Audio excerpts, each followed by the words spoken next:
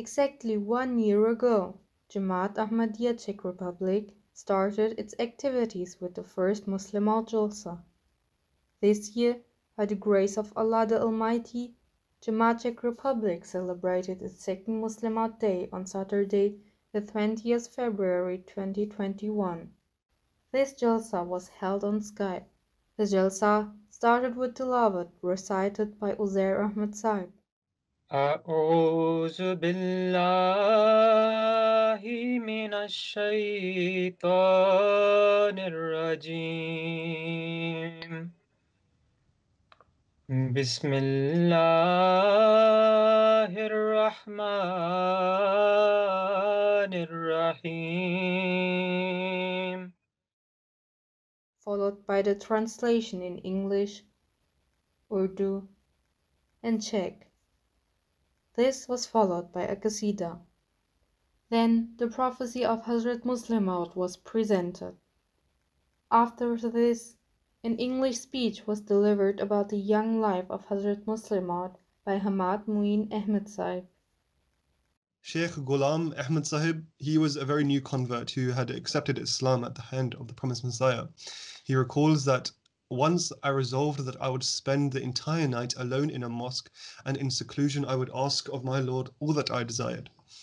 When I arrived in the mosque, I saw someone that was already busy in prostration, and uh, he was weeping with such anguish that I was unable to focus on my own prayer. The prayer of that individual had such a powerful impact upon me that I began praying, Oh my Lord, whatever this person is is um, praying for, I implore you, I implore you, do thou grant it upon him. I stood for so long that I became tired from standing, waiting there for the person to arise from his prostration. I do not know how long he had been standing there before my arrival, but when he lifted his head, I saw that it was Mir Mahmud Ahmed Sahib. I greeted him with salam, I shook his hands, and I asked him, Mia, whatever did you ask from God today? He replied, I have only asked of God that he should revive Islam before my very eyes.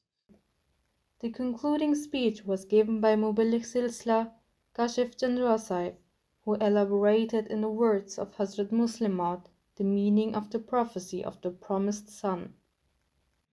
Ilham mein sirf ye bataya gaya tha ki wo چار کرنے والا ہوگا بس میرے نزدیک یہ اس کی پیدائش کی تاریخ بتائی گئی ہے یہ پیش گوئی جو ہے جو حنان صاحب نے بھی پیش کیا تھا جو پیشگوئی کے جو الفاظ ہیں، یہ ابتدا اٹھارہ سو چھیاسی ابتدا اٹھارہ سو چھیاسی میں کیے گئے تھے۔ اور مسلم موت کی جو پیش گوئی ہے، یہ جو پیش گوئی ہے، وہ ابتدا اٹھارہ سو چھیاسی میں ہوئی اور حضور کی جو پیدائش ہے، وہ ایٹین ایٹی نائن میں ہوئی۔ پس تین کو چار کرنے والا حضور فرماتے ہیں پیش گوئی میں یہ خبر دی گئی تھی کہ اس کی پیدائش چوتھے سال میں ہوگی اور ایسا ہی ہوا۔